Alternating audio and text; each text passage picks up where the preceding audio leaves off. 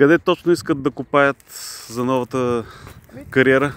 Значи, това голямото парче земя, където е, на площ 235 декара и няколко квадрата, сега точно не, нали, не знам.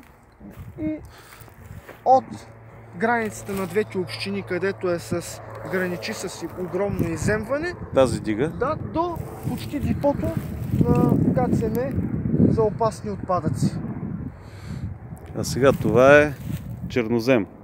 Това е хубава обработваема земеделска земя. В момента е даже и засята.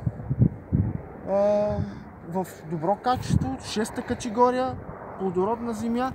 И уж закона защитава и ни допуска да се унищожава земеделска земя, ти правиш кариера на нейно място и я превръщаш в една пустиня.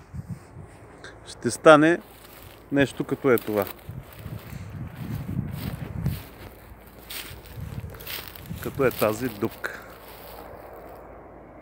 Съседство.